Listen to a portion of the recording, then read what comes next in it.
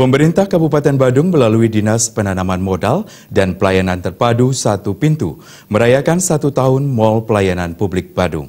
Dalam perayaan yang dikemas dalam gathering dan meeting IT, logo baru Mall Pelayanan Publik Badung resmi diluncurkan yang diharapkan menjadi semangat baru dalam memberikan pelayanan terbaik kepada masyarakat. Kepala Dinas Penanaman Modal dan Pelayanan Terpadu Satu Pintu Kabupaten Badung, Bade Agus Aryawan mengatakan, pada usia satu tahun ini, Mal Pelayanan Publik terus berusaha memberikan pelayanan terbaik kepada masyarakat, tidak hanya berupa perizinan, tetapi juga non-perizinan. 27 instansi, baik dari BUMN, BUMD, maupun Badan Layanan Umum dan Swasta, serta 8 instansi di pemerintah Kabupaten Badung telah tergabung dalam Mal Pelayanan Publik. Dalam Mal Pelayanan Publik Badung, terdapat 145 jenis layanan khusus pelayanan izin dan non-izin yang menjadi kewenangan Dinas Penanaman Modal dan Pelayanan Terpadu Satu Pintu berjumlah 121. Sedangkan sisanya dilakukan instansi vertikal dan BUMN. Jumlah kunjungan sejak diluncurkan 17 September 2018 lalu, rata-rata per bulan mencapai 7.000 lebih. Hal ini menunjukkan Mal Pelayanan Publik memberikan manfaat positif bagi masyarakat yang menginginkan pelayanan pada satu atap. Mal Pelayanan Publik Bandung terus mengembangkan tipe dan model layanan lain, dan salah satunya perizinan daring atau online dan perizinan jemput bola. Di usia satu tahun, Mal Pelayanan Publik telah menjadi pusat studi banding sekitar 120 lembaga dan instansi dari berbagai daerah di Indonesia.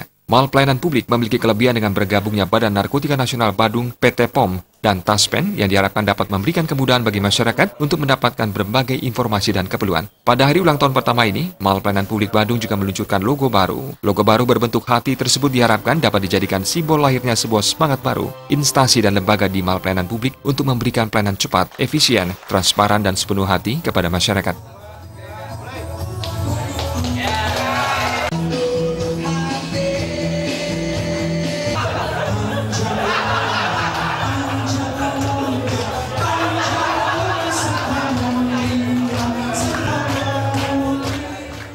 Dan pada hari ulang tahun yang pertama ini, Bapak Wakil Bupati yang langsung tadi memberikan arahan dan sambutan menyatakan bahwa kami harus terus berinovasi dan berbenah termasuk instansi-instansi lain yang bergabung di Mall Pelayanan Publik Kabupaten Badung diharapkan bisa meningkatkan pelayanan, kecepatan, ketepatan, transparansi.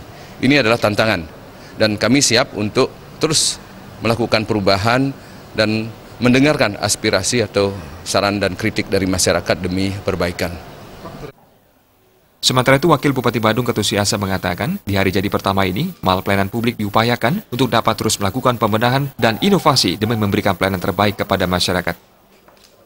Ya, mal pelayanan publik ini memang benar-benar nanti mampu menjadi uh, mall pelayanan publik yang memiliki prestasi di hati masyarakat ya. Jadi prestasi kita cari adalah prestasi di hati masyarakat.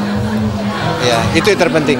Tidak prestasi yang kita penghargaan-penghargaan itu yang terpenting, tapi prestasi di hati rakyat itu yang terpenting buat kita. Di...